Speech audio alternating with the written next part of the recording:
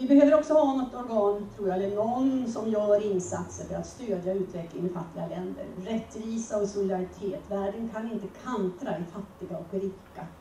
Och då är det ändå en väldigt stor vits med det här med multilateralt samarbete.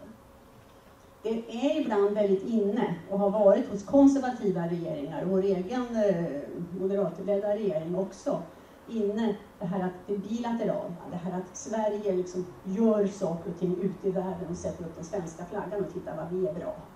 Vi ska tacka oss.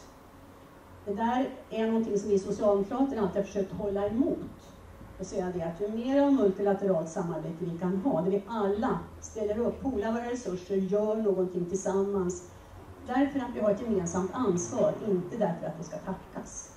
Det är en.